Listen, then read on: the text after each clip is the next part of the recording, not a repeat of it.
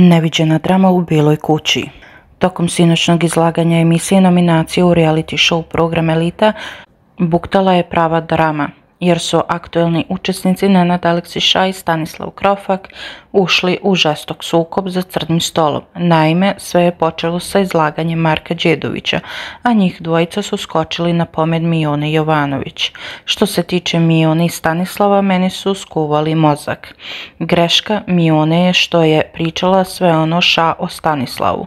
Mislim da je Stanislavu nije sve jedno za ono što se priča, rekao je Đedović. Mi to nismo hteli da iznesemo, istakla je Mijuna. Stanislav je rekao da tera cirkus ša Mijunom, dodao je Marko.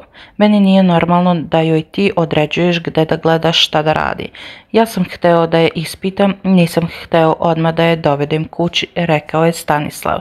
Ti si rekao da ti nije ozbiljna veza na početku sa Mijunom, a onda dva puta u nju. I kao šala, Brecao se ša.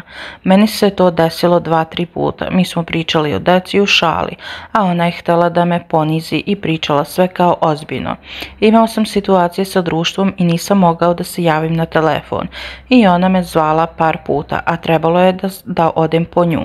Pozvao sam je i krenula je da me ispituje. Ja sam rekao, doći ću po tebe ako me ne pitaš ništa i ona je prihvatila.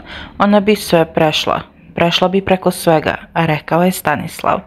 I onda si mi objasnio šta se desilo, kada je nešto ozbiljno. Naravno da ću razumeti, istakla je mi ona. I onda je ušla i pričala sve najbolje o toj vezi. I kada dođe ovako nešto, naravno da se neće verovati. Što se tiče razgovora Miona i Stanislava, mislim da je taj razgovor obavljen sinoć u toku emisije. Nisu mi bili ograničeni, rekao je Đedović.